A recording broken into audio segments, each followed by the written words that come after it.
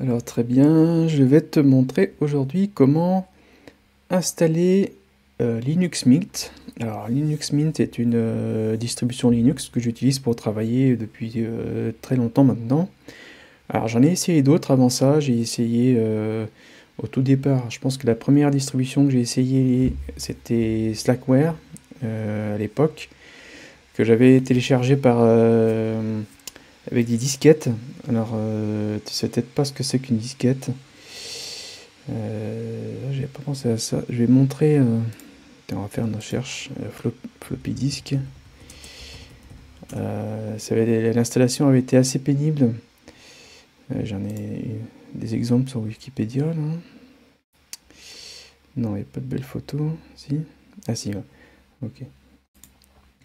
Donc en fait c'est ça, une disquette c'est ça, donc c'est ce que j'utilisais à l'époque pour, euh, pour euh, stocker des données et en fait quand j'étais à l'université, euh, ça. Quand j'étais à l'université, j'utilisais, j'avais pas d'accès internet, pas là où, où, je logeais. Donc en fait, pour télécharger la Slackware, j'avais utilisé une disquette. Enfin, quand je dis une disquette, c'est une seule disquette. Et il a fallu que je fasse des allers-retours sans cesse entre chez moi et l'université qui avait l'accès Internet pour télécharger euh, Linux. Enfin, Linux et, tous les logiciels qui allaient avec. Donc en fait, euh, j'allais sur Internet, je téléchargeais chaque source de logiciel, hein, Linux y compris, et je découpais ce que j'avais téléchargé en plusieurs morceaux donc euh, ça faisait plein plein de fichiers euh, découpés pour que ça rentre sur la disquette. Donc chaque morceau allait sur la disquette. Donc je faisais le trajet, donc 15 minutes de marche, 15 minutes de retour, et je téléchargeais comme ça.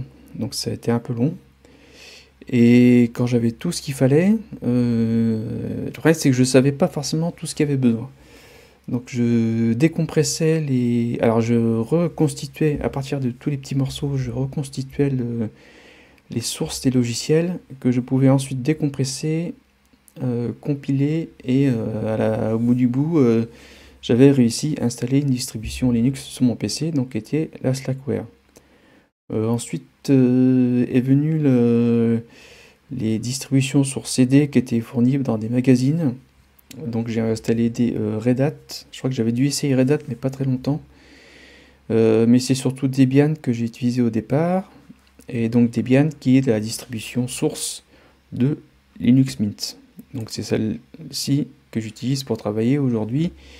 Euh, du moins pour travailler sérieusement. Parce que les autres sont pas assez...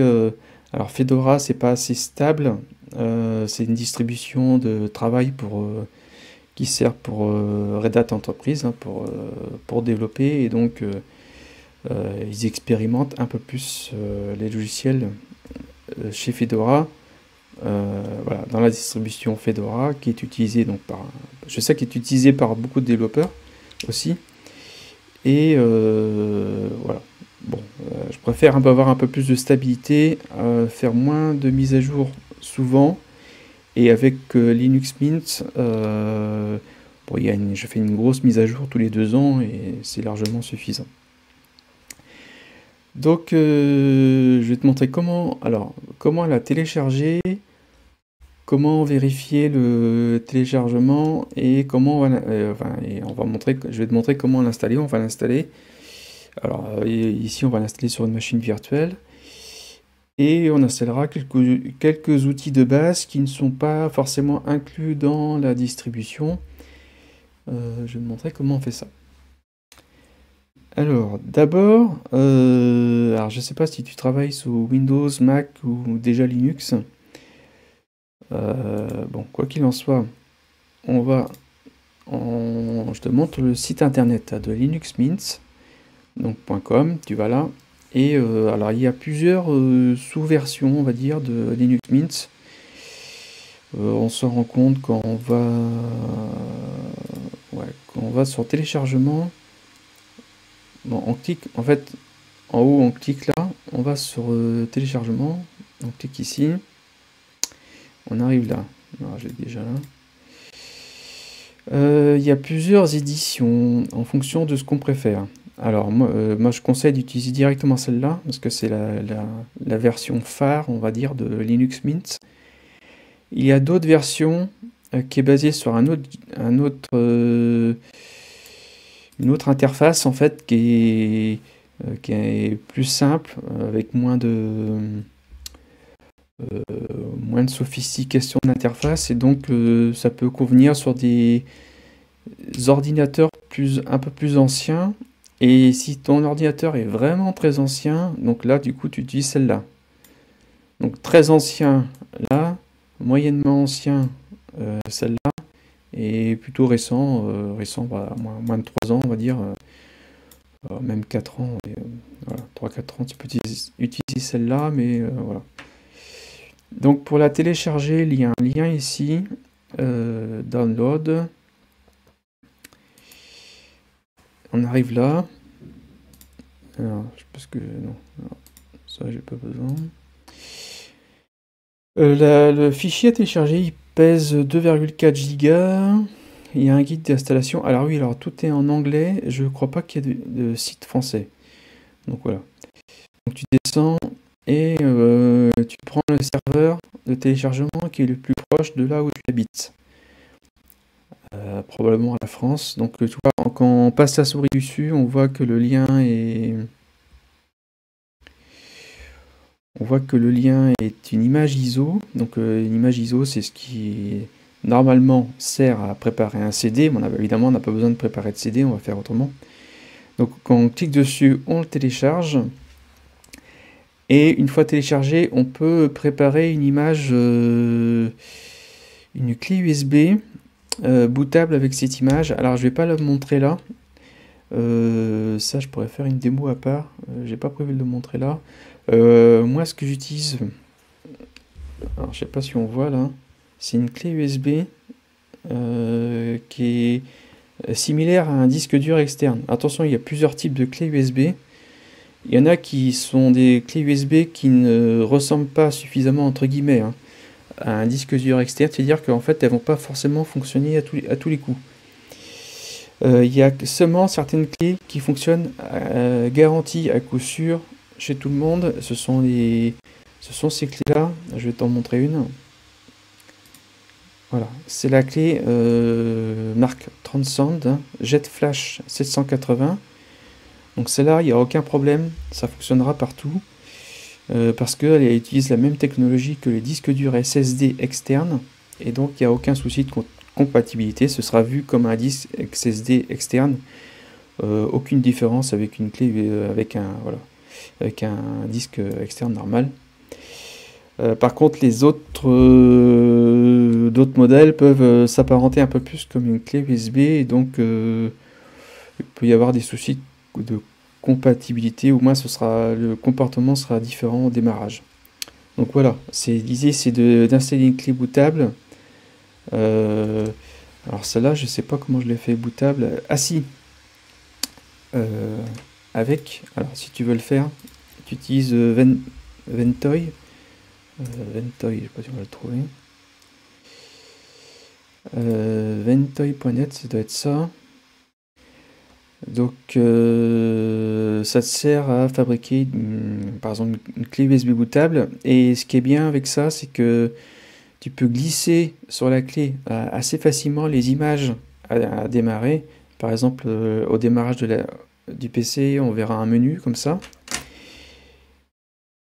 Et euh, évidemment, il y aura une des lignes, ce sera marqué Linux Mint euh, avec l'image ISO en question. Donc je ne vais pas le faire là. Euh, je suppose que ça que voilà, tu l'as déjà, tu as réussi à le faire, et donc on va poursuivre. Si tu veux que je le fasse pour toi, je fais des. Je peux le faire sous forme de, de prestation, il n'y a pas de souci, t'envoyer la clé. Voilà, on peut toujours le faire. Là je fais une, voilà, un tutoriel gratuit en ligne. Euh, il faut aussi chercher un peu euh, pour voir comment on fait. Hein. Donc euh, voilà, tu as téléchargé, téléchargé l'ISO de Linux Mint, éventuellement tu la démarres avec une machine virtuelle, et donc c'est ce qu'on va faire là. Ah oui, avant de... Il conseille de vérifier l'image ISO. En fait, quand tu télécharges l'image ISO, pour garantir l'intégrité de l'image et l'authenticité, il y a quelques petites commandes à faire. Euh, voilà, quoi tu peux le faire en, ligne de commande si tu es sous Linux. Si tu es sous Windows, alors euh, il y a un autre tutoriel qui est indiqué ici. je ne sais pas ce qu'il faut faire. Euh, il y a un outil pour le faire depuis Windows aussi pour vérifier que ce qu'on a téléchargé, c'est bon. sinon, sinon voilà, tu, tu vérifies sous Linux. alors je vais peut-être euh, je vais peut-être regarder. Ah, je vais peut-être te montrer. Alors attends, je retrouve mes fenêtres. Euh, alors je vérifie où j'ai mis mes fichiers. Ouais. Euh,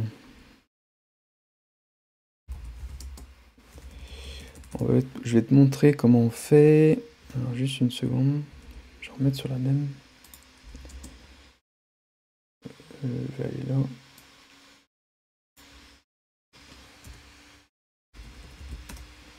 Euh. Hop, ça y a pas besoin. Hum.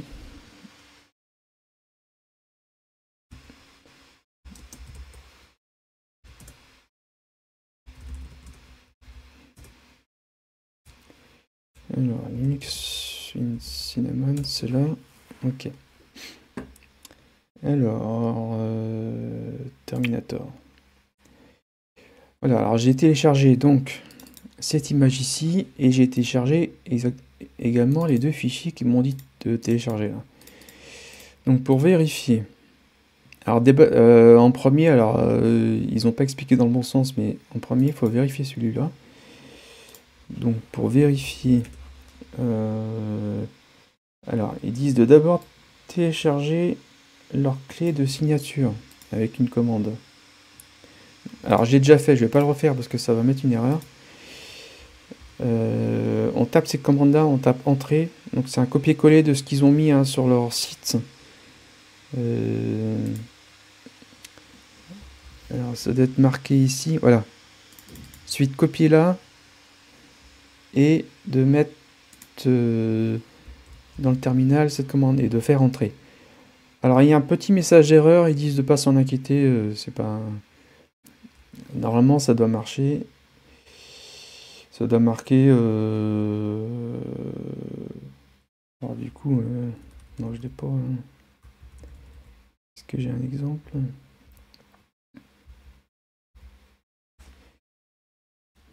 Voilà, si ça marque, euh, si ça marche, ça va marquer euh, euh, bonne signature. Alors moi c'est mis en français. ça va marquer un message comme ça, bonne signature ou en anglais, équivalent en anglais. Et donc là ce sera bon. Ensuite, il y a un autre fichier qu'on a téléchargé, qui est celui-ci, qui contient des signatures de, du, de, de, donc euh, comment ils appellent ça d'intégrité euh, de l'image ISO. Et pour vérifier on, marque tout bêtement là ce qu'ils ont mis là. Euh, voilà on copie, on copie la partie qui est là. Et on vérifie l'image. Alors tout ce que je fais là c'est pas obligé mais c'est vivement conseillé. En fait, ça va regarder la, ça va calculer une signature de, ce fichier. On attend un peu, c'est pas euh, immédiat. Et puis euh, voilà, on attend. Et normalement, ça va être le premier ici. Ça va indiquer ça comme résultat à la ligne de commande. Donc voilà. On a la même, euh, le même numéro en tout là. Donc c'est bon, on peut poursuivre. Donc euh, là, on va démarrer une machine virtuelle. Alors, je vais pas tout monter le truc. Euh, je vais en démarrer euh, directement avec ça. Donc voilà, on démarre sur... Là, l'installation commence vraiment. On démarre là-dessus. Donc on fait entrer. Donc là, si tu démarres sur une clé USB, etc., ça va faire euh, exactement la même chose. Donc euh, en fait, il démarre un système temporaire qui permet d'installer ensuite Linux Mint sur un disque. Alors, il dit que j'ai du réseau. Euh, donc il y a un installeur ici. Alors euh, on peut tester en attendant. Alors pour l'instant c'est pas la, résolution n'est pas maximum, notamment parce que je suis dans une machine virtuelle et que tout n'est pas configuré pour avoir une résolution totale de l'écran, mais on peut déjà installer. On peut essayer un petit peu quelques logiciels, enfin, on va pas faire ça, on va juste faire l'installation. Donc on clique là-dessus. Alors ça fait longtemps que je l'ai pas faite, donc du coup je vais découvrir en même temps, parce que j'ai aucune idée euh, des questions. Alors euh, là, comme c'est une installation sur un poste de travail, on peut le faire en français. Euh, par contre, si c'était pour un serveur, juste un exemple, hein, il faut le mettre en anglais. Hein. Donc on installe un serveur toujours en anglais. Et pour le poste de travail, on fait un peu comme on veut. Donc continuer. Là, par défaut, il a mis le bon clavier. Le bon clavier, c'est ça, c'est Legacy. Normalement, c'est celui-là, Legacy Alt. Normalement, ça devrait être bon. On continue. Alors là, on coche ça parce que sinon, euh, il va y avoir des surprises. Euh, c'est des codecs en plus utiles pour euh, voilà, codec multimédia. C'est pour des formats vidéo, etc. Donc on met. On fait continuer. Effacer le disque.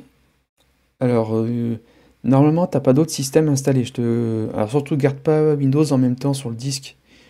c'est parce que c'est dans, dans, la pratique, euh, tu n'utiliseras jamais les deux en fait. Ne, te dis pas que tu vas mettre un, dual boot avec Windows ou Linux. De toute façon, tu n'utiliseras jamais, jamais les deux. Euh, crois-moi, c'est pas possible. Donc soit tu, en utilises un de base pour le disque et ensuite éventuellement tu mets des machines virtuelles. Autrement, ne mets pas dual boot, euh, n'y pense même pas. Donc c'est pour ça que euh, soit tu installes tout, tu écrases tout. Éventuellement, un seul cas où tu peux garder Windows, par exemple, c'est si jamais tu veux revendre le PC plus tard et, l'avoir le Windows toujours là. Autrement, euh, non, t'oublies en fait. Donc, on va faire ça. Effacer le disque et installer Linux Mint. installer maintenant. Donc, ça installe sur le disque dur qui est associé, c'est un disque dur virtuel, qui est associé à la machine virtuelle. Mais si c'était sur un, poste de travail, bon, ce serait le disque dur du poste de travail. Euh, continuer, il me dit qu'il va tout écraser. vas-y. Donc là, il demande mon fuseau horaire qui est Paris. Alors pendant qu'il se pose les questions là, en fait, il continue à, il a déjà, il a déjà démarré l'installation. Autre nom, Christophe. Euh, le nom de l'ordinateur, euh, on va l'appeler démo. Un nom d'utilisateur, Christophe. alors, comme c'est. Alors, là, euh, pour le mot de passe, un mot de passe solide, c'est un mot de passe qui est assez long. plus c'est long, mieux c'est. Et sans faire. Il n'y a pas besoin de faire un mot de passe compliqué. Il faut juste qu'il soit long. Alors long, c'est au moins une vingtaine de caractères. Hein. Euh, même 22 euh, dans l'idéal. Donc faut faire une, suite de mots, une suite de... Voilà, par exemple une suite de mots par exemple. Euh, bon, là c'est la démo où je vais faire court exceptionnellement parce que j'ai pas envie de me casser la tête. Mais il faut pas faire ça. Demander les mots de passe pour ouvrir la session. oui, chiffrer mon Dossier personnel, on coche pas, on va, parce qu'on va tout chiffrer en fait, tout le disque. Euh, ah oui, c'est ça que j'ai raté de faire avant. Donc on va le faire. Euh, là, c'est une installation sans chiffrement du disque. Euh, en fait, dans le, moment de l'installation, on aurait pu choisir autre méthode et choisir de chiffrer tout le disque, ce que je conseille. Bon là, on va installer ça comme ça, sans, sans chiffrer. On continue.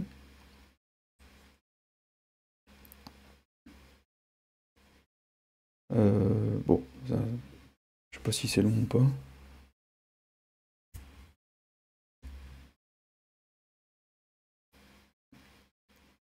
Je pense que c'est pas forcément très très long parce que ça il prend, il prend les fichiers de, qui proviennent de l'image ISO.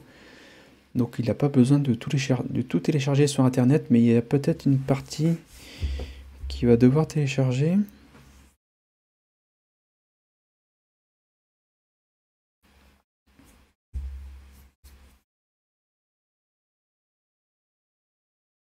La configuration du fuseau horaire, euh, bon. Vérification des paquets.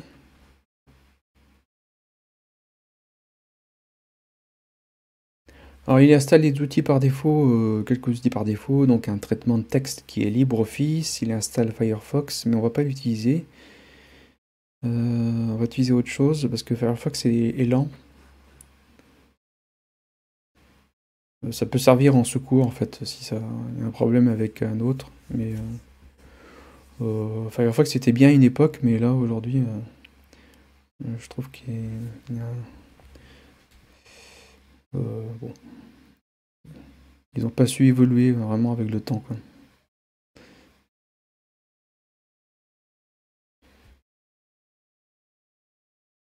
Donc, alors quand il dit par exemple local, là, ça veut dire c'est les langues en fait, c'est tout ce qui correspond au langage, au clavier, etc. Enfin, tout ce qui correspond à, au pays. Et...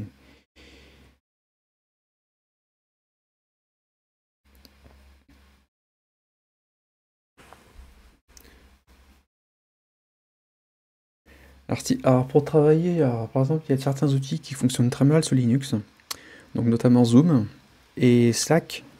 Alors, ces deux, parce que je sais que c'est deux exemples populaires et ils sont très mal développés. Euh, à la limite, ils ont, euh, on se demande même s'ils ont envie que ça fonctionne bien sous Linux, parce qu'ils consomment beaucoup trop de CPU. Euh, donc c'est pareil, si tu peux t'en passer, les utilise pas, les, les installe pas, ça fonctionne pas très bien. ça consomme beaucoup de CPU, on ne sait pas ce que ça fait, aucune idée. C'est vraiment des, je pense qu'ils ont pris des, des stagiaires pour faire une version Linux et euh, ou alors des personnes qui ne sont pas trop bons en développement. Et donc, ça, il y a des optimisations qui sont pas très bien faites. Alors voilà, c'est fini. Donc, on fait redémarrer maintenant. Alors, si on redémarre maintenant, je ne sais pas s'il va démarrer sur le disque sur un nouveau image ISO. Donc, on va regarder. Press Enter. Alors, bout de menu, peut-être. Ah non. Euh, je pense. Euh, donc on va. On va changer le boot, son de démarrage. On va enlever le. On va enlever ça. Euh...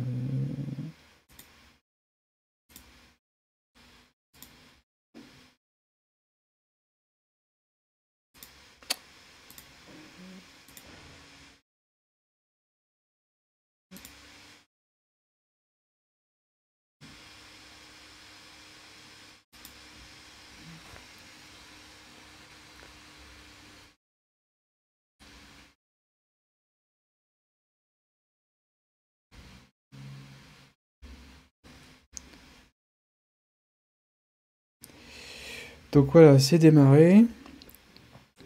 Alors j'ai toujours pas de plein écran, je sais pas pourquoi. On va, on va regarder si on peut le faire d'ici ou s'il faut qu'on installe euh, quelque chose. Ou s'il faut que je change mon driver graphique. Ça on n'en a pas besoin. Je vais regarder tout de suite dans l'affichage. Si on a... Ah oui, on a autre chose. 1024, 1080. Euh, ça va être celui-là. Ah voilà, c'est bon. Voilà. Déjà c'est mieux. C'est plus grand. Euh, donc, voilà, Linux Mint est installé. Donc maintenant, qu'est-ce qu'on peut faire? Euh, J'en sais rien. On va regarder. Voilà, installation est faite. Donc, euh, ça, je sais pas pourquoi il y a ça. Ah oui, parce qu'il y a le disque qui était...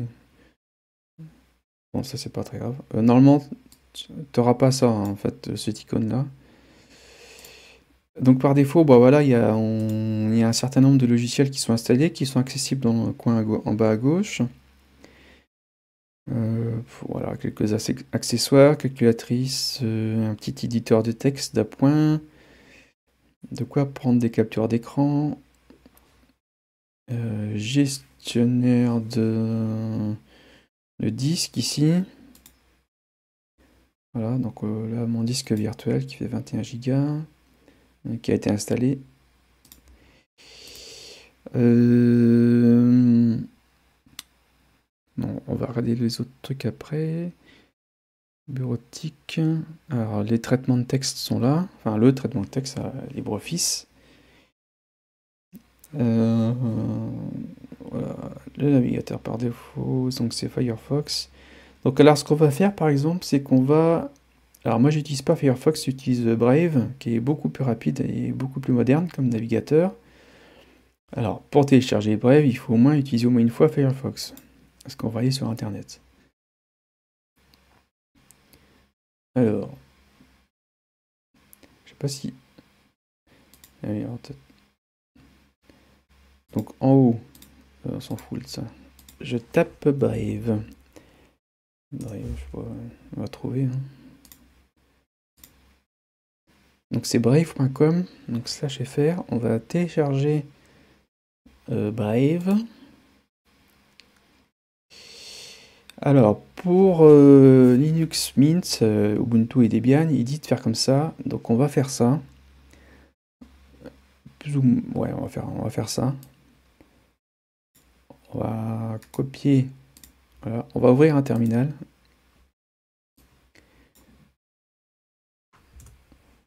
Voilà, là je tape le mot de passe, mon mot de passe.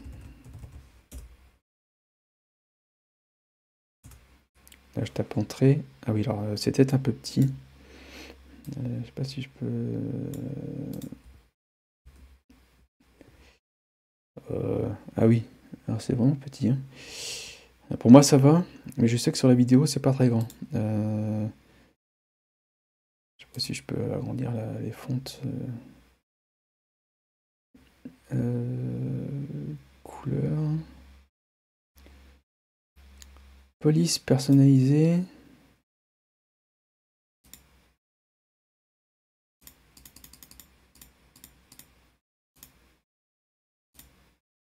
Voilà. J'ai tapé ça, ce qu'il disait de faire. Euh, ensuite on passe à la suite. On, copie bêtement là ce qui est marqué là. Alors quand je dis bêtement, euh, voilà pas, trop bête non plus, mais.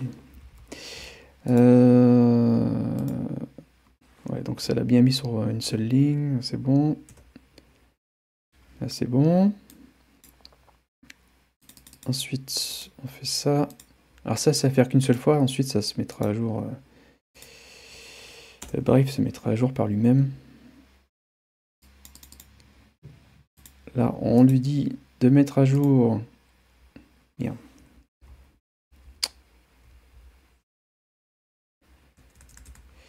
Apt update.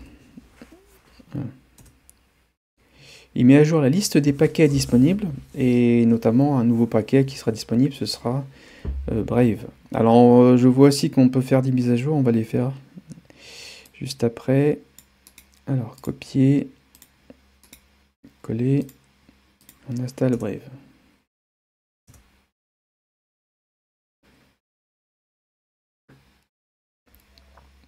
Donc là, on n'a plus besoin de Firefox normalement. Je vais remettre. Euh, du coup.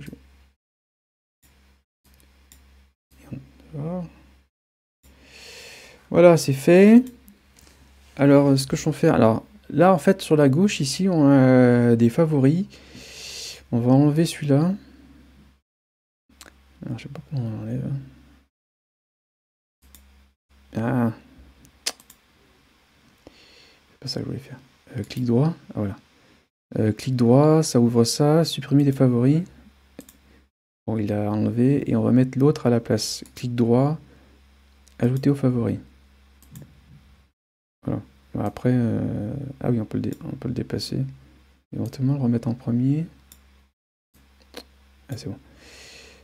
Donc on ferme Firefox euh, en nouveau Brave. Définir Brave par défaut, euh, oui. Voilà, donc maintenant on a un navigateur internet moderne installé. Alors les dernières versions de Brave suppriment euh, les... Essayent de supprimer les, petites pop-up qui demandent de valider les cookies sans arrêt sur tous les sites. Euh, une très belle invention de gens qui ont comprennent rien à la technique, alors qu'on pouvait faire ça de façon technique automatique, mais bon, on ne peut pas leur demander de tout savoir. Donc Brave essaye de temps de, supprimer les pop-up. Alors je pense que par défaut ça marche pas vraiment bien et que il y a peu, c'est peu qu'il y a certains sites qui fonctionnent mal à cause de ça. Donc voilà, bon. Mais euh, Brave est très très léger comparé à Firefox, donc je conseille d'utiliser ça pour travailler au jour le jour, c'est vraiment très bien. Un autre outil que tu peux avoir besoin, c'est Skype, donc euh, qui est, de Microsoft. Euh, moi, ça m'arrive d'utiliser, mais j'évite de l'utiliser parce que c'est pas un logiciel libre, mais autrement, ça m'arrive de m'en servir. Donc téléchargement. Et là, on va télécharger le obtenir Skype pour Linux Deb, donc ça marchera sur Linux Mint.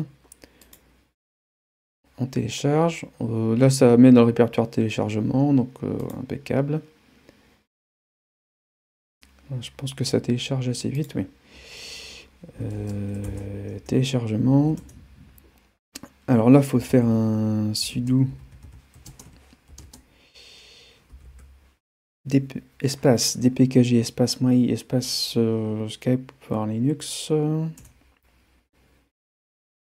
Et donc ça installe Skype. Alors est-ce que ça installe tout Skype ou juste, ou juste le dépôt Skype? Non, tout Skype. Ah oui. Il est installé. Donc là, on doit l'avoir dans les menus là. Donc euh, là, c'est pareil, clic droit et ajouter au favori, comme ça il est un peu plus euh, peut-être éventuellement disponible rapidement. Donc il est là.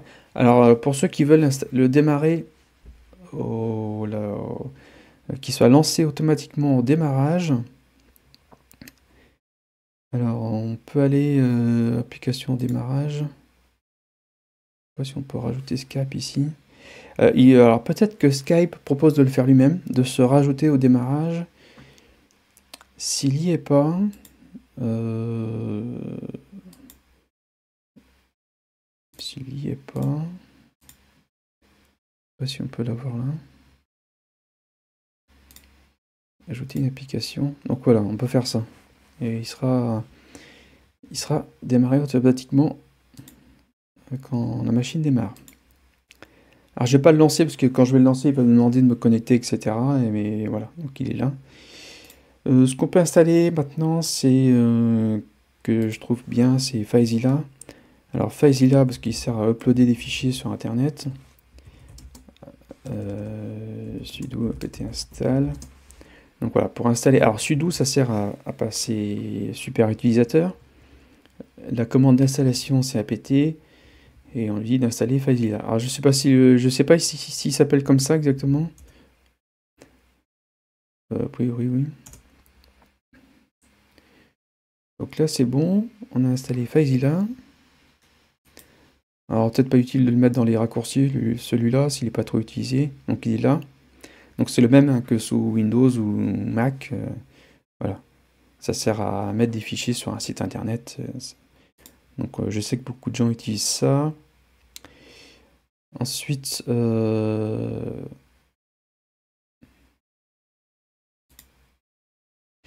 alors là, les gestionnaires de mise à jour qui me dit que j'ai des mises à jour à faire. Là, on peut le faire. Valider. Dans le... Alors...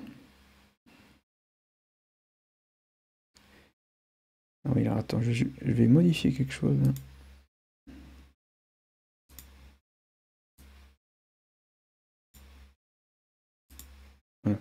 En bas à droite, il y a des icônes. Il y en a un qui concerne le gestionnaire de mise à jour, qui est toujours lancé. Et donc quand il y a un petit euh, truc là, euh, rouge, orange, euh, ça veut dire qu'il y a des mises à jour en attente. Normalement, on peut le, on peut le programmer pour qu'il y fasse automatiquement la nuit, par exemple. Ou on peut le faire tout de suite. Alors si on le fait tout de suite, on va devoir redémarrer. Et ça va prendre du temps, donc pour pas allonger la vidéo, exceptionnellement, je vais pas le faire. Mais, mais en fait, il faut faire les mises à jour. Alors un autre outil que j'utilise pour sauvegarder les mots de passe, c'est qui? Passe XC. Euh, qui passe XC, c'est un gestionnaire de mots de passe euh, local. Hein. On n'utilise jamais de gestionnaire de mots de passe sur Internet. Alors je sais qu'il y en a qui le font, mais c'est pas, on, ne fait pas ça. Hein. on utilise toujours un gestionnaire local de mots de passe et éventuellement le fichier est crypté, on peut le synchroniser via le cloud comme Nextcloud et l'avoir ensuite sur son, téléphone. on n'utilise jamais un gestionnaire de mot de passe d'entreprise qu'on ne connaît pas. Il euh, ne faut, absolument jamais faire ça. Donc on utilise toujours le, sous Linux. Quand on travaille sous Linux, on, utilise un gestionnaire local, comme ça, qui, qui passe X, et, voilà, c'est... Autant utiliser ce qui est disponible sous la main. Euh, moi, il y a un outil que j'utilise aussi pour, euh, pour prendre des notes. Alors, je crois pas qu'il est packagé sous Linux. On va peut-être devoir aller le télécharger. C'est Joplin. Joplin App. Alors, c'est Joplin App. Non, je ne connais pas l'adresse. Oui, c'est ça. Joplin App. Euh, c'est vraiment pas mal. là, je, on peut télécharger. Il y a un Qu'est-ce qu'il y a comme package? Alors, c'est un package au format AppImage. Donc là, on peut le télécharger, par exemple. ce que je conseille, c'est de créer une, un, répertoire qui s'appelle application, par exemple. On le met dedans, on télécharge. Il est peut-être un peu gros celui-là, hein. mais il est déjà fini. Il euh, faut le rendre exécutable une fois téléchargé. Donc permission autorisée. Voilà, il est téléchargé. Après, il y a toujours moyen de mettre dans les raccourcis euh, des menus pour l'avoir euh, directement. Sinon, on double-clique double -clique dessus. Il va se lancer. Donc voilà, c'est ça. c'est un, c'est un, bloc-notes en fait, un bloc-notes qui peut être synchronisé sur le web. Euh, euh, euh, fournit un service de synchronisation sur le web. Alors c'est développé par un Français. Et là en fait on peut taper ces petites notes. Alors il y a, alors faut savoir que la partie droite, alors donc ça fonctionne par un système de carnet, de sous-carnet. Ensuite on peut rajouter des notes comme ça. Ensuite, il y, a un format de pour taper les titres. le pour les titres, on fait commencer par un dièse. Et quand il y a un sous-titre, on fait voilà euh, deux dièses, etc. Et sinon, on tape du texte et ça le formate à droite. ensuite, on peut exporter sa petite note au format euh, PDF, par exemple, pour le partager avec des personnes. Voilà, donc ça c'est un outil que j'utilise qui est vraiment très bien. Euh, vraiment, vraiment très bien. Donc ça, je conseille d'utiliser. Autrement, euh, en visionneur de vidéo, il y a VLC. Alors VLC, j'aime pas trop l'interface parce que ça est un peu ancienne. Il y, a, il y a Celluloid, mais je trouve qu'il marche pas très bien. Enfin, j'ai l'impression qu'il a des problèmes. Donc le mieux, c'est d'installer VLC. Euh, VLC, comme ça, tout le monde connaît. Même s'il y a un peu... Euh, l'interface, c'est un peu vieillotte. Euh, ce serait bien que ce soit un peu rafraîchi, cette histoire, mais bon. Donc on installe VLC. Donc ça télécharge tout. et ensuite, bah, il est installé normalement dans son vidéo. Ouais. Donc voilà.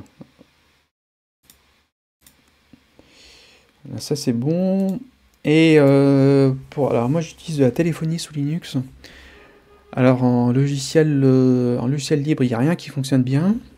Euh, il y a éventuellement, s'il y en a un, mais c'est pas clair s'il fonctionne ou pas. c'est un peu, un peu juste. c'est Linphone, je crois. Linphone. Ah, comment ça s'appelle? Linphone, voilà, Donc il y a moyen de, tester celui-là, mais c'est un peu, je sais pas. Alors, il fonctionne évidemment sur Linux. C'est pour une ligne SIP. Hein. Euh, c'est un provider SIP. Euh, tu peux t'en servir pour téléphoner avec. Alors, autrement, il y a en logiciel propriétaire, il y a Zoiper qui fonctionne, euh, qui fonctionnait mal, qui semble-t-il, fonctionne un peu mieux récemment, mais en fait, quand il y a un problème sous Linux et qu'on fait appel au support, euh, il nous envoie balader simplement. Donc, de toute façon, euh, malgré que ce soit un logiciel qu'on paye, euh, le support n'est pas mieux que. Enfin, on se demande pourquoi on paye. En fait, je trouve ça un peu limite. quand il y a des vrais bugs sous Linux, ils ont clairement pas envie de les corriger. Donc il faut attendre une fois par an la mise à jour euh, pour euh, avoir une chance que ça fonctionne mieux. Euh, malheureusement, il souvent les versions Linux qui est en dessous, ça fonctionne mal, il peut cracher. Donc la stabilité est pas très très bonne. la raison principale, c'est que le Bluetooth et le serveur son sous Linux sont changés beaucoup de fois et je comprends que ça énerve les développeurs de devoir mettre à jour sans arrêt. Mais en même temps, euh, c'est leur, leur travail, donc euh, ils, sont, ils ont été payés pour faire ça, été payés pour faire ça, et donc c'est à eux de, maintenir à jour. Mais ils n'ont pas trop envie de le faire. En tout, cas, pas pour les gens sous Linux. Donc, euh, sinon, en vrai logiciel stable, il y a 3CX. 3CX, alors il n'y a pas d'outil lourd pour Linux, c'est en fait il utilise euh, le navigateur. Donc euh, Brave par exemple, il utilise le navigateur qui va se lancer de manière autonome pour lancer le logiciel de téléphonie. Ça fonctionne très bien. Euh, ça c'est génial. Donc enfin un qui fonctionne. Donc, mais il faut un serveur 3CX pour s'en servir. Donc voilà, on peut en avoir. Le problème c'est que les serveurs 3CX gratuits fournis en ligne par 3CX n'utilisent que certains providers. Et alors OVH en fait partie, moi j'utilise IP euh, qui n'est pas dans la liste, donc euh, ça oblige à installer son propre serveur 3CX et à savoir cocher certaines options, notamment au niveau des codecs audio, sinon ça fonctionne mal. Donc il y a certains codecs que tu n'as pas activés, euh, je ne connais plus la liste ni la configuration, mais peut-être que je ferai un autre tutoriel euh, par la suite. Voilà, euh, donc on a les outils principaux. Euh, ben ensuite, c'est chacun qui voit ce qu'il a besoin d'utiliser. Moi, personnellement, j'utilise Terminator. parce que Terminator, c'est un. En fait, c'est une console qui peut se découper en plusieurs morceaux. Et c'est vraiment génial. Je pense que plein de gens s'en servent. C'est dommage qu'il n'est pas, assez mis en avant, alors qu'il est vraiment très bien. Euh, quand je dis mise en avant, on n'en parle pas assez. Euh, euh, d'ailleurs, je sais pas où il est. Il est là. Terminator. Alors par défaut, il est en petit. Moi, je le mets souvent en grand. Voilà, on peut, on peut diviser. par exemple, F11 plein écran on peut subdiviser bah, son, écran de travail comme ça. Ça, c'est pour les développeurs et les administrateurs comme moi. Autrement, évidemment, ça va pas te servir. pour développer, j'utilise, pour éditer le, du code source, j'utilise VS Codium, qui est un outil de Microsoft. Alors, ah oui, j'ai pas enlevé Firefox moi là. Alors, reprendre Brave. Euh, VS Codium. VS Codium. Je pense que c'est .com, pas très sûr.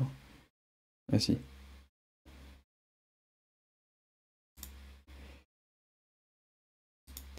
Voilà, alors j'utilise ça qui est vraiment très bien pour l'installer, c'est ici. Euh, download. Et ici, il y a un package pour Debian, euh, je crois, qui est celui-là. Debian, alors Debian euh, Mint Ubuntu. on va télécharger dans téléchargement. Ensuite, on va aller voir dans téléchargement. On attend, c'est pas fini. Voilà.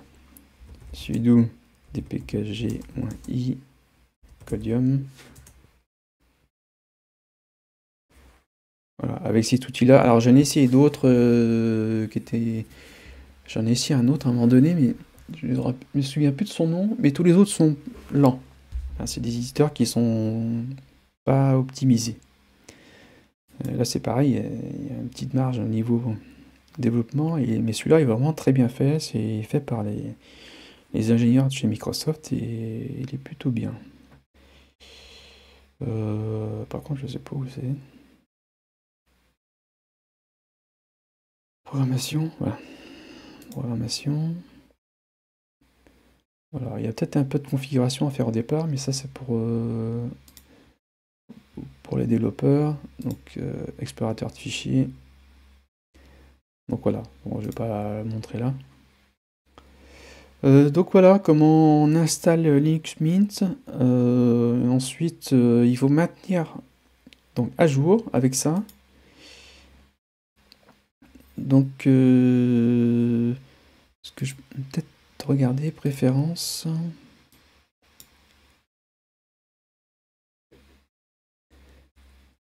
Je vais faire un truc parce que préférence affichage.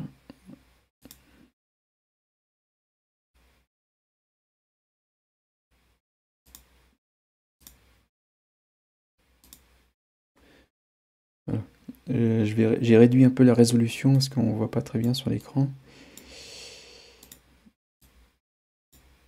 Euh, préférence, euh, fermer la, fenêtre du gestionnaire après l'application des mises à jour. Euh, on peut cocher. Bah, je vais, ça c'est pour laisser l'icône en permanence. voilà. Mise à jour automatique la nuit. Entre minuit. Attends. actualiser la liste à minuit 10. On actualise la liste des paquets.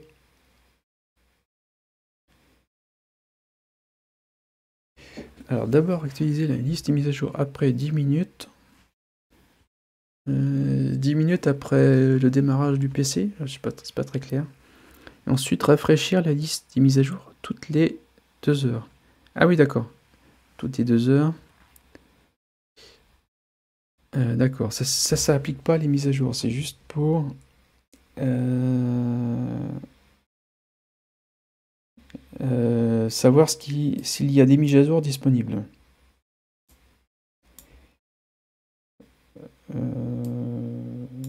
Liste noire, automatisation. Ah voilà. Appliquer les mises à jour automatiquement, ça je conseille de le faire.